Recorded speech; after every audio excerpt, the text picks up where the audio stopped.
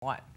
Finally, a newscast focused on Broward. The Morning Show. Check it out weekdays 5 to 9 a.m. on SFL TV. Channel 39, Comcast 11.